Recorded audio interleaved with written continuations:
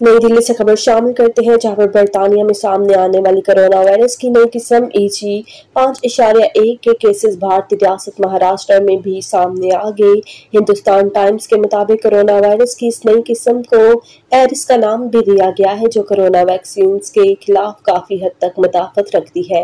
महाराष्ट्र में इस किस्म के मरीज़ रवा साल मई में सामने आए थे, तहम जुलाई तक इसका फैलाव ज़्यादा नहीं हुआ।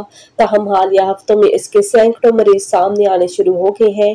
महाराष्ट्र हेल्थ डिपार्टमेंट के मुताबिक जुलाई के अख्ताम तक एरिस से मुतासरा मरीजों की तादाद सत्तर तक थी, जो अगस्त के पहले छह दिनों में 120 से तजावज कर गई। माहरीन का कहना है की एरिस के मुतालिक ज़्यादा फिक्रमंद होने की ज़रूरत नहीं है। ये इसलिए भी ज़्यादा फैल रही है क्योंकि लोगों में वैक्सीनेशन से आने वाली इम्यूनिटी का वक्त के साथ असर कम होता जा रहा है। फरीदाबाद के फोर्स एस्कॉर्ट्स अस्पताल के डॉक्टर रविशेखर झा का कहना है कि भारत को कोरोना वायरस की इस नई किस्म पर परेशान होने की बजाय वैक्सीनेशन पर तवज्जा देनी चाहिए।